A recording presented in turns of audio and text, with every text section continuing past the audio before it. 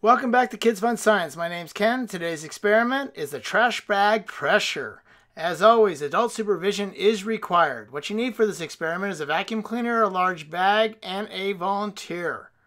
So a couple warnings here is you never put the trash bag over someone's head at any time and always make sure the head is outside the bag. Welcome back to Kids Fun Science. My name is Grace. And I am Ken. And today's experiment is air pressure. And we're going to use a garbage bag to uh, show you how that's done. Now, we're going to have Grace get inside the garbage bag and we're going to suck all the air outside the garbage bag to show that the surrounding air around her has 14.7 pounds per square inch pressing on the sides, which we don't feel every day, right? And so by doing this, by sucking it out, it's going to take all the air out and you're not going to be able to move, okay? So the most important thing is that it's very dangerous. Do never put the bag over your head, right? Okay. Okay. Here we go. I'm going to get behind you once I turn it on.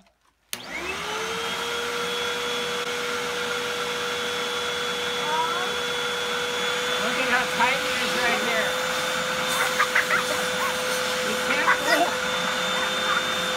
Look No, at it's connect now. Are you stuck? No, it's like Ah, shut off. Did you feel that pressure? Boy, that was tight. and I was like Cool. falling. So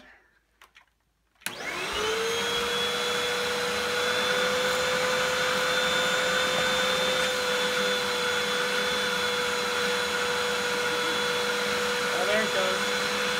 It's tight. I can't move. Very tight. can't get out.